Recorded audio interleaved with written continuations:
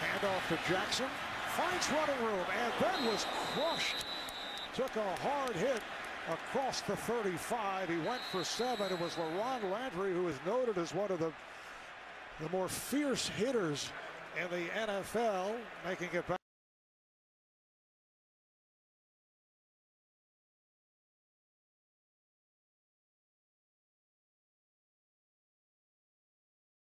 Back from the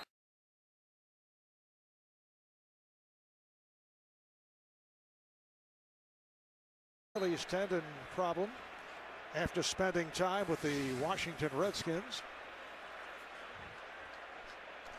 Well, you've got this big safety, LaRon Landry, boy, and he hits him right there above the knee, right at the thigh. That did not look good for Fred Jackson.